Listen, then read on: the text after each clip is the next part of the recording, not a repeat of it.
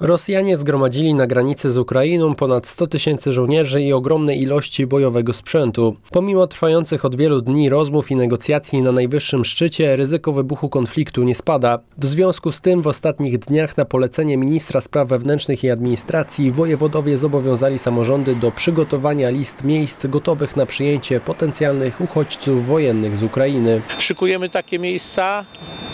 W tej chwili jesteśmy przygotowani na, na kilkaset osób, które jesteśmy w stanie przyjąć praktycznie bez, e, bez większego problemu. Są to tereny, które w tej chwili są do końca ustalane, tak żebyśmy mogli je w każdej chwili uzupełnić czy wyposażyć w sprzęt, który będzie sprzętem niezbędnym. Ostateczna lista miejsc w Pile jeszcze nie powstała, ale mowa tutaj o hotelach czy halach sportowych. Podobną gotowość liczebną zgłasza Wałcz. Miasto łączą umowy partnerskie z ukraińskim Korcem i Chocimiem. Co więcej, ponad 10% mieszkańców mieszkańców Wałcza ma ukraińskie korzenie. Z tego miejsca mój apel do, do mieszkańców, mój apel do przedsiębiorców i wszystkich organizacji wałeckich, jeśli będzie taka e, potrzeba, pomagajmy, wspierajmy, e, starajmy się, że tak powiem, pomagać naszym e, przyjacielom z Ukrainy w tych trudnych czasach. Więc jeśli będzie możliwość, będziemy na pewno wszystkie ręce na pokład i starali się im pomóc. Nie wszędzie jest takie nastawienie. Problemy były w powiecie chodzieskim. Początkowo nam było trudno współpracować z y, zarządami gmin.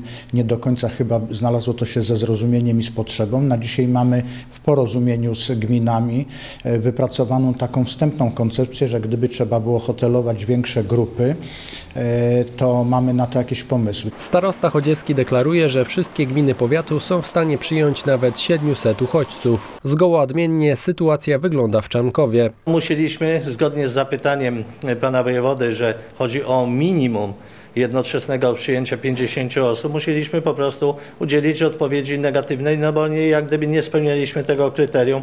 Jednak według słów burmistrza w razie potrzeby miasto jest w stanie zagwarantować 50 miejsc. Dodajmy, że według nieoficjalnych szacunków w przypadku wybuchu wojny za naszą wschodnią granicą do Polski może przyjechać nawet milion ukraińskich obywateli.